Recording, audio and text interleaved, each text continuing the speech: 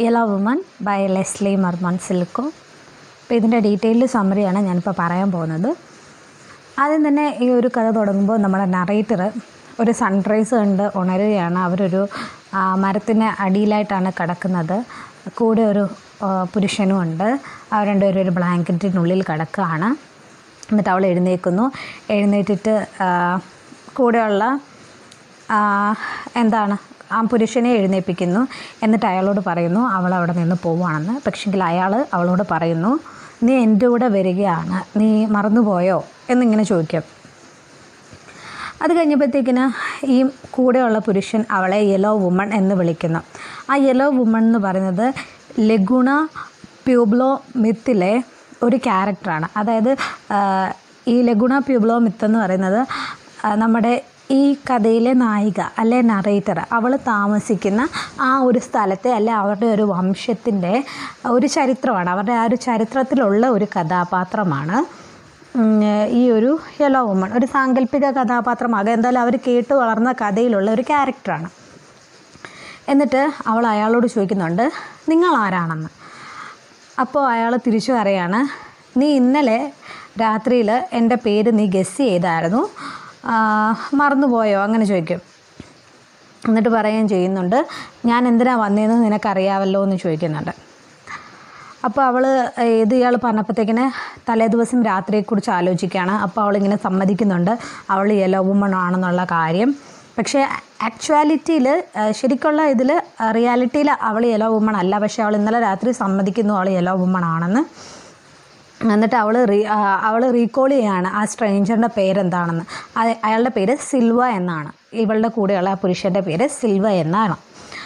അത് കഴിഞ്ഞിട്ട് അവൾ അയാളോട് പറഞ്ഞായിട്ട് ഓർക്കുന്നുണ്ട് അയാൾ ഒരു കാറ്റ്സീന സ്പിരിറ്റാണ്. ഒരു കാറ്റ്സീന എന്ന് പറയുന്നത് അവിടെ ഒരു ഉള്ള ഒരു മൗണ്ട് സ്പിരിറ്റാണ്. അവർ വിശ്വസിക്കുന്ന ഒരു സ്പിരിറ്റാണ്. ആ യെല്ലോ വുമന്റെ കഥയുണ്ടല്ലോ. ആ യെല്ലോ വുമന്റെ കഥയിലുള്ള മറ്റൊരു കഥാപാത്രം ഒരു സ്പിരിറ്റായിട്ട് പറയുന്ന ഒരു ഇതാണ് ഈ കാറ്റ്സിന സ്പിരിറ്റ് എന്നുള്ളത്.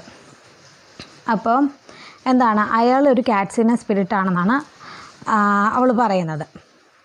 എന്നിട്ട് അവൾ പിന്നെ ആലോചിക്കുകയാണ് അവളിങ്ങനെ ഓർത്തോർത്തെടുക്കുകയാണ്. അവർ ഇന്നലെ ഉച്ചയ്ക്ക് ഈ നദിക്കരയിൽ വെച്ചാണ് പരസ്പരം കണ്ടുമുട്ടിയെന്നുള്ള കാര്യവും അവൾ ആലോചിക്കുകയാണ്. എന്നിട്ട് നമ്മുടെ ഈ നറേറ്റർ ആ പഴയ കഥയെക്കുറിച്ച് ആലോചിക്കുകയാണ്. കാറ്റ്സിന സ്പിരിറ്റിനെ കുറിച്ചും യെലോ വുമണിനെ കുറിച്ചും എല്ലാം. അപ്പോൾ പറഞ്ഞു ഈ കഥകൾ ഈ ഇങ്ങനെ ഒരു കഥ ഉണ്ടായെന്ന് വെച്ചിട്ട് അതിലെ ക്യാരക്ടേഴ്സ് നമ്മൾ രണ്ടുപേരും ആകണമെന്ന് ഒരു നിർബന്ധവുമില്ല. അപ്പം എന്താ ഈ സിൽവ ഇവളെ പിടിച്ച് അടുത്തേക്ക് നിർത്തും. അപ്പോഴും അവളുടെ മനസ്സിങ്ങനെ മറ്റെന്തൊക്കെയോ ആലോചിച്ച് ആലോചിക്കണം അപ്പോൾ അവളിങ്ങനെ മനസ്സിലാലോചിക്കും ഈ യെല്ലോ വുമൺ അറിയാമായിരുന്നു അവൾ ആരാണെന്ന്. അവൾക്കൊരു ഫാമിലി ഉണ്ടായിരുന്നു. അവളെ നമ്മുടെ നറേറ്ററിന്റെ കാര്യം പറഞ്ഞ പോലെ എല്ലാവരും മറ്റൊരു പേരിലായിരുന്നു വിളിച്ചുകൊണ്ടിരുന്നത് അവൾക്ക് എല്ലാ വുമൺ എന്നല്ലാതെ മറ്റൊരു പേരുണ്ടായിരിക്കുമോ അവളും ഇതുപോലൊക്കെ ആ, ഒരു സ്റ്റോറിയുടെ ഭാഗമാകുമെന്ന് അവൾ എന്തെങ്കിലും ചിന്തിച്ചിട്ടുണ്ടായിരിക്കുമോ എന്നെല്ലാം ഇങ്ങനെ ആലോചിച്ചു. അപ്പോൾ ഈ നറേറ്ററിന്റെ ഈ തോട്ട്സിനെ എല്ലാം ഇന്ററപ്റ്റ് ചെയ്തുകൊണ്ട് സിൽവ അവളുമായിട്ടൊരു ലവ് മേക്കിംഗ് നടത്തുകയാണ്. അപ്പോൾ അവൾ സിൽവയോട് ചോദിക്കുന്നുണ്ട് നിങ്ങൾക്ക് ഈ സ്റ്റോറി അറിയാമോന്ന് എന്നിട്ട് അയാൾ തിരിച്ചു ചോദിക്കുന്നുണ്ട് ഏത് സ്റ്റോറിയാണ് അപ്പോൾ അവൾക്ക് കുറച്ച് പേടിയൊക്കെ തോന്നുന്നുണ്ട്. കാരണം ഈ ഒരു സിറ്റുവേഷൻ എല്ലാം അവളെ ഈ പഴയ കഥയാണ് ഓർമ്മിപ്പിക്കുന്നത്. ഈ പഴയ കഥ അവളുടെ ഗ്രാൻഡ് പറഞ്ഞു കൊടുത്ത കഥയാണ്. കാറ്റ്സീന സ്പിരിറ്റിനെ കാണുന്ന ഒരു കഥ പറഞ്ഞു കൊടുത്തിട്ടുണ്ടായിരുന്നു ഇവളുടെ ഗ്രാൻഡ് പ അപ്പോൾ ആ കഥയെക്കുറിച്ച് ആലോചിക്കും. ആ ഒരു കഥയിൽ യെല്ലോ വുമൺ എന്ന് പറയുന്ന ഒരു സ്ത്രീയുണ്ട്. ഇവരുടെ ഈ ഒരു ട്രൈബിൽ പെട്ട ഒരു സ്ത്രീയാണ്. ഈ റെഡ് ഇന്ത്യൻസിന്റെ ട്രൈബിൽ പെട്ട ഒരു സ്ത്രീയാണ്. അവർ ഇതുപോലെ ഒരു കാറ്റ്സീന സ്പിരിറ്റുമായിട്ട് ഓടിപ്പോകുന്നുണ്ട് എന്നിട്ട് കാറ്റ്സിന സ്പിരിറ്റിന്റെ കൂടെ ജീവിച്ചിട്ട് കുറേ നാൾ ജീവിച്ചിട്ട് പിന്നെ കുറേ നാൾ കഴിഞ്ഞിട്ട് തിരിച്ച് അവളുടെ വീട്ടിലേക്ക് തന്നെ പോകുന്നതായിട്ടാണ് ആ കഥ. നമ്മുടെ നറേറ്റർ സിൽവയോട് പറയുന്നുണ്ട് അവൾക്ക് അയാളുടെ വരാൻ താല്പര്യമില്ല. കാരണം അവർ ഈ കേട്ടു വന്ന കഥകളൊക്കെ സത്യമായി തീരും. അവൾ ഇയാളുടെ കൂടെ പോയിട്ടുണ്ട് എന്നുണ്ടെങ്കിൽ. അതായത് യെല്ലോ വുമന്റെ കഥയിലെ പോലെ തന്നെ ഇവളും അയാളുടെ കൂടെ പോയാൽ നടക്കും. അതുകൊണ്ട് അവൾക്ക് വരാൻ താല്പര്യമില്ലെന്ന് പറയുന്നു. അപ്പോൾ അയാൾ പറയുന്നു "ആ, അവർക്ക് അവിടെ നിന്ന് പോകാമെന്ന്. ആ സമയത്ത് അവൾ അയാൾ പറയുന്ന കേട്ട് തലയിൽ വാട്ടിക്കൊണ്ട് അയാളുടെ പുറകെ പോകും. എന്നിട്ട് അവൾ മനസ്സിലിങ്ങനെ വിചാരിക്കുന്നുണ്ട്. അവൾ പോകുന്ന വഴിക്ക് ഏതെങ്കിലും ഒരു മനുഷ്യനെ കാണുകയാണെന്നുണ്ടെങ്കിൽ അവൾക്ക് ഉറപ്പിക്കാം സിൽവ ഒരു മനുഷ്യൻ മാത്രമാണ്. അയാളൊരു സ്പിരിറ്റ് അല്ല എന്നുള്ള കാര്യവും അതുപോലെ തന്നെ അവൾ യെല്ലോ വുമൺ അല്ല എന്നുള്ള കാര്യവും അവൾക്ക് ഉറപ്പിക്കാമെന്ന് അവൾ വിചാരിക്കുന്നു. എന്നിട്ട് അങ്ങനെ അവർ പോകുമ്പോൾ അവരൊരു ഹോഴ്സിന് അവർക്കൊരു ഹോഴ്സ് ഉണ്ട്. അപ്പോൾ ഹോഴ്സിന്റെ പുറത്ത് കയറി അവരങ്ങനെ റൈഡ് ചെയ്ത് പോവാണ്. അപ്പോൾ ഇങ്ങനെ നറേറ്റർ ആലോചിക്കുന്നുണ്ട് അവിടെ ഫാമിലി മെമ്പേഴ്സ് ഇൻക്ലൂഡിങ് അവളുടെ ഹസ്ബൻഡ് ബേബിയൊക്കെ എന്തായിരിക്കും അവരുടെ അവസ്ഥ എങ്ങനെ ആയിരിക്കും എന്നൊക്കെ ആലോചിക്കുന്നുണ്ട്. അവർ വീട്ടിൽ എന്തെടുക്കുമെന്ന് ആലോചിക്കുന്നുണ്ട്. അങ്ങനെ സിൽവ അവളെ അയാളുടെ വീട്ടിലേക്ക് കൊണ്ടുചെല്ലുന്നുണ്ട്. എന്നുവെച്ചാൽ ഒരു വീട്ടിലേക്ക് കൊണ്ടുചെല്ലുന്നുണ്ട്. അത് അയാളുടെ വീടാണെന്നാണ് വിശ്വസിക്കുന്നത്. എന്നിട്ട് വലിയൊരു എന്നുവെച്ചാൽ ഒരു മൗണ്ടൻ ടോപ്പ് പോലൊക്കെ ഉള്ളൊരു സ്ഥലമാണ്. എന്നിട്ട് അവിടെ കൊണ്ടുപോയിട്ട് അവർ ആ ഒരു വീട്ടിലേക്ക് എൻട്രി ചെയ്യുകയാണ് എന്നിട്ട് സിൽവ ആ വീട്ടിൽ സ്റ്റൗ കത്തിക്കുന്നുണ്ട്. അവിടെ നറേറ്റർ കുറച്ച് പൊറ്റേറ്റോസ് ഫ്രൈ ചെയ്യുന്നുണ്ട്. കഴിക്കാൻ വേണ്ടിയിട്ട്. എന്താണ്? അപ്പോൾ അവൾ അയാളോട് ചോദിക്കുന്നുണ്ട് നിങ്ങൾ ഈ സെയിം ട്രിക്ക് തന്നെയാണോ എപ്പോഴും ഉപയോഗിക്കുന്നേ? എന്ന് ചോദിക്കുന്നുണ്ട്. അപ്പോൾ അയാൾക്ക് ഇങ്ങനെ ക്ലിയർ ആകത്തില്ല അപ്പോൾ അവൾ ചോദിക്കും ഈ ട്രിക്ക് തന്നെയാണോ പെൺകുട്ടികളെ വീട്ടിലേക്ക് കൊണ്ടുവരാൻ ഉപയോഗിക്കാറെന്ന്? ഏത് ട്രിക്കാണെന്ന് വെച്ച് കഴിഞ്ഞാൽ സ്റ്റോറീസ് അബൌട്ട് നമ്മുടെ യെല്ലോ വുമന്റെയും കാറ്റ്സിയാൻ സ്പിരിറ്റിന്റെയും കഥ ഉപയോഗിച്ചാണ് പെൺകുട്ടികളെ വീട്ടിലേക്ക് കൊണ്ടുവരുന്നത്. അപ്പോൾ ഇത് നാച്ചുറലായിട്ടുള്ളൊരു കാര്യമാണ്. സ്പിരിറ്റ് വന്ന് വിളിച്ചാൽ പെൺകുട്ടികൾ കൂടെ വരണം. അപ്പോൾ അങ്ങനത്തെ ഒരു കഥയാണ്. അപ്പോൾ അത് പറഞ്ഞാണോ കൊണ്ടുവരുന്നതെന്ന് ചോദിക്കും. എന്നിട്ട് അവൾ അയാളോട് പറയും ആ കഥയൊന്നും ഇനി നടക്കുമെന്ന് അവൾക്ക് തോന്നുന്നില്ല. ആ കഥ സത്യമല്ല. ആ കഥ ആയിരിക്കില്ല ഇപ്പം നടക്കുന്നതെന്ന് അവൾ അയാളോട് പറയുന്നുണ്ട്. പക്ഷേ സിൽവ അവളെ ഓർമ്മിപ്പിക്കുകയാണ് ഫ്യൂച്ചറിൽ പീപ്പിൾ ഇവരെക്കുറിച്ചും ഒരു കഥ പറയുമായിരിക്കും ഇങ്ങനെയൊക്കെ ഒരു പെൺകുട്ടി പോയി ഇങ്ങനെയൊക്കെ നടന്നു. അങ്ങനെ ഫ്യൂച്ചറിൽ പറയാൻ പോകുന്ന ഒരു കഥയിലുള്ള ക്യാരക്ടേഴ്സ് ആവാം ഇവർ അല്ലെ ഭാവിയിൽ യെല്ലോ വുമന്റെ കാര്യം പറഞ്ഞ പോലെ ഒരു ചരിത്രമാകാനുള്ളവരായിരിക്കും ഇവരെന്ന് സിൽവ പറയും. അങ്ങനെ നമ്മുടെ നറേറ്ററും അവരും കൂടി ഇങ്ങനെ മൗണ്ടൻ ടോപ്പ് ഞാൻ പറഞ്ഞ വീടിന്റെ അവിടെ നിൽക്കുകയാണ്. അപ്പോൾ സിൽവ ഇങ്ങനെ താഴേക്ക് ചൂണ്ടിയിട്ട് പറയും അവിടെയാണ് നവാജോ റിസർവേഷൻ തുടങ്ങുന്നതെന്ന് പറയും. നവാജോയും ഈ അവിടെ അവിടെയുള്ളൊരു ട്രൈബിന്റെ വേറൊരു പേരാണ് വേറൊരു ട്രൈബാണ് അപ്പോൾ ആ, അതായത് ഇത് പണ്ടത്തെ കാലമാണ് അപ്പോൾ എല്ലാവരും ഓരോ ട്രൈബ്സിൽ പെട്ട ആൾക്കാരാണ്. അപ്പോൾ നവാജോയും അവിടെയുള്ള മറ്റൊരു ട്രൈബ് അപ്പോൾ നവാജോ ട്രൈബ് റിസർവേഷൻ അവിടെയാണ് തുടങ്ങുന്നതെന്നൊക്കെ പറഞ്ഞ് സിൽവ ഈ മൗണ്ടൻ ടോപ്പിൽ നിന്നിട്ട് നമ്മുടെ നറേറ്റർക്ക് കാണിച്ചു കൊടുക്കുകയാണ് എന്നിട്ട് എന്താണ് നറേറ്ററിന്റെ ആ പ്യൂബ്ലോ ട്രൈബ് ഉണ്ടല്ലോ അവരെവിടെയാണെന്നുള്ള കാര്യവും ഒക്കെ അവിടെ നിന്ന് കാണിക്കും. ഇവരുടെ നവാജോയുടെയും പ്യൂബ്ലോയുടെയും ബൗണ്ടറീസ് എവിടെയാണെന്നുള്ളതൊക്കെ കാണിക്കും. പിന്നെ അതുപോലെ തന്നെ അയാൾ അവൾക്ക് കാണിച്ചു കൊടുക്കുന്നുണ്ട് ടെക്സൻസും മെക്സിക്കൻസും ഒക്കെ എവിടെയാണ് അവരുടെയൊക്കെ റാഞ്ചസ് എവിടെയാണെന്നൊക്കെ കാണിച്ചു കൊടുക്കുന്നുണ്ട്. പിന്നെ നമ്മുടെ നറേറ്റർ സിൽവയോട് ചോദിക്കുന്നുണ്ട് സിൽവ ഈ റാഞ്ചേഴ്സിന് വേണ്ടിയിട്ട് വർക്ക് ചെയ്യുന്നുണ്ടോ എന്ന് ചോദിക്കുന്നുണ്ട്. അപ്പം സിൽവ പറയും ഞാൻ ഈ റേഞ്ചേഴ്സിന് വേണ്ടിയിട്ടൊന്നും വർക്ക് ചെയ്യുന്നില്ല. പക്ഷെങ്കിൽ ഞാൻ അവരുടെ അടുത്തിൽ നിന്ന് സ്റ്റീൽ ചെയ്യുമെന്ന് പറഞ്ഞു. ഞാൻ അവർ അവരുടെ അടുത്ത് നിന്ന് മോഷ്ടിച്ചെടുക്കുകയാണ്. അപ്പോൾ നമ്മുടെ നറേറ്റർ ഒരു കാര്യം ഉറപ്പിക്കും. സിൽവ ഒരു നവാജോയാണ്. അതായത് നവാജോ ട്രൈബിൽപ്പെട്ട ആളാണ്. കാരണം പ്യൂബ്ലോ ട്രൈബിൽപ്പെട്ട ആൾക്കാർ ഒരിക്കലും അങ്ങനെ ചെയ്യത്തില്ല. പ്യൂബ്ലോ ട്രൈബിൽ ട്രൈബിൽപ്പെട്ട ആൾക്കാരൊന്നും കട്ടെടുക്കുകയൊന്നും ചെയ്യത്തില്ല. അതുകൊണ്ട് സിൽവ ഒരു നവാജോ തന്നെ ആയിരിക്കണമെന്ന് വിചാരിക്കുന്നു. അപ്പോൾ സിൽവ ഇങ്ങനെ തലയാട്ടിക്കൊണ്ട് പറയും ഞാൻ നിന്നോട് നേരത്തെ പറഞ്ഞായിരുന്നു ഞാൻ ആരാണ് എന്ന്. അപ്പോൾ അവനിങ്ങനെ കാറ്റ്സിയൻ സ്പിരിറ്റ് ആണെന്നുള്ള ഒരു നിലയിലാണ് പറയുന്നത്.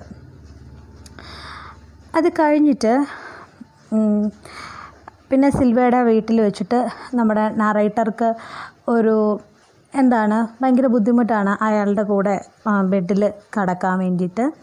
പിന്നെ കുറച്ച് കഴിഞ്ഞപ്പോഴത്തേക്കിന് അവൾ അയാളുടെ അടുത്ത് വന്ന് കിടക്കുന്നുണ്ട്. പിന്നെ അവർ തമ്മിലൊരു ലവ് മേക്കിംഗ് ഒക്കെ വീണ്ടും നടക്കുന്നുണ്ട്. അപ്പോൾ നമ്മുടെ നറേറ്ററിന് ഒരു കാര്യം മനസ്സിലാവുന്നുണ്ട്. സിൽവ നല്ല ആരോഗ്യവാനാണ്. അപ്പോൾ ചിലപ്പം സിൽവയുടെ ആ ഒരു ശക്തി അവളെ വേദനിപ്പിച്ചേക്കാം. അപ്പോൾ അവൾ മനഃപൂർവം അങ്ങ് കീഴടങ്ങി കൊടുക്കുകയാണ് അവൾ ഓൾറെഡി പേടിച്ചുമാണ് നിൽക്കുന്നത്. ഇനി അവളെ എതിർത്താൽ സിൽവ വല്ലതും അവളെ ചെയ്യുമോ എന്നൊക്കെ. പിന്നെ കുറേ കഴിയുമ്പോഴത്തേക്കിന് അവൾക്ക് അവനോടൊരു ഇഷ്ടമൊക്കെ തോന്നും. എന്നിട്ട് അവൾ അയാളുടെ നെറ്റിക്ക് ഒരു ഉമ്മയും കൊടുക്കും. പിന്നെ അവൾ പിറ്റേ ദിവസം രാവിലെ എഴുന്നേൽക്കുമ്പോൾ സിൽവ അവിടെ നിന്ന് പോയിട്ടുണ്ടായിരുന്നു. അപ്പം നമ്മുടെ നറേറ്റർക്ക് മനസ്സിലാകും ഇതാണ് ബെസ്റ്റ് ചാൻസ് അവിടെ നിന്ന് ഓടിപ്പോകാനും തിരിച്ച് അവളുടെ ഡ്രൈവിലേക്ക് റിട്ടേൺ ചെയ്യാനും. പക്ഷേ അവൾ ആദ്യം തന്നെ എന്തെങ്കിലും ഉണ്ടാക്കി കഴിക്കണമെന്ന് തീരുമാനിച്ചു. അപ്പോൾ അവൾ അവിടെ ഒരു റോക്കയിലിരുന്ന് ആപ്രിക്കോട്ട്സ് കഴിക്കായിരുന്നു. അപ്പോൾ ആപ്രിക്കോട്ട്സ് കഴിച്ച് അവൾ അവിടെ നിന്ന് ഉറങ്ങിപ്പോകും അവൾ പിന്നെ ഉണരുമ്പോൾ എന്താണ് അവൾ അവളുടെ ഫാമിലിയെക്കുറിച്ച് ആലോചിക്കുക. ഫാമിലിയിലുള്ളവർ അവളെക്കുറിച്ച് വെറി ചെയ്യുന്നുണ്ടാവും. അവൾക്ക് എന്ത് പറ്റിയെന്ന് ചിന്തിക്കുന്നുണ്ടാവും. അവൾക്ക് അപ്പോൾ ഒരു കാര്യം ഓർമ്മ വന്നു. അവളുടെ ഗ്രാൻഡ് പ ഇപ്പം ജീവനോടെ ഉണ്ടായിരുന്നെങ്കിൽ ഗ്രാൻഡ് പ ഈ ഈ വീട്ടുകാരൊക്കെ പേടിക്കുമ്പോൾ അവിടെ നിന്ന് ചിരിച്ചിട്ട് പറഞ്ഞേനെ എന്താ ശരിക്കും നടന്നേന്നുള്ളത്? അപ്പോൾ എന്താണ്? ഗ്രാൻഡ് പാ വീട്ടിലുള്ള എല്ലാവരോടും പറയും ആരും പേടിക്കൊന്നും വേണ്ട. അവളെ ഒരു കാറ്റ്സിയൻ സ്പിരിറ്റ് തട്ടിക്കൊണ്ട് പോയതാണ്. ഒരു മൗണ്ടൻ സ്പിരിറ്റ് അവൾ തിരിച്ച് വീട്ടിൽ വരും ആരും പേടിക്കണ്ട. കാര്യം കഥയിൽ അത് അങ്ങനെയാണ്.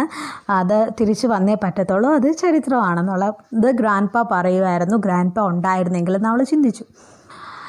പിന്നെ അവൾ അവളുടെ ഫാമിലി ലൈഫിനെ കുറിച്ചൊക്കെ ആലോചിക്കുകയാണ് എന്താണ്? അവളുടെ ഫാമിലി ലൈഫ് അവളില്ലാതെ അവളുടെ വീട്ടിൽ എങ്ങനെയായിരിക്കും എന്നൊക്കെ ഇങ്ങനെ ആലോചിക്കുന്നുണ്ട്. പിന്നെ അത് മാത്രമല്ല അവൾ ചെല്ലുമ്പോൾ തിരിച്ചു ചെല്ലുമ്പോൾ വീട്ടുകാർ ചോദിക്കും ഇവൾ എവിടെയായിരുന്നു? എന്നുള്ള കാര്യം.